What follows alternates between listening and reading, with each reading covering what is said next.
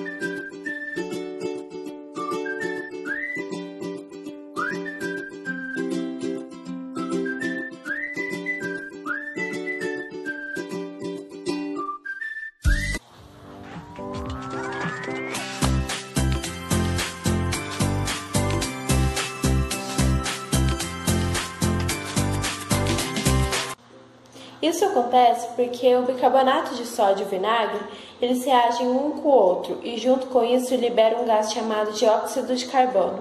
Este gás é o mesmo que contém nas bebidas gaseificadas, aquelas bolinhas.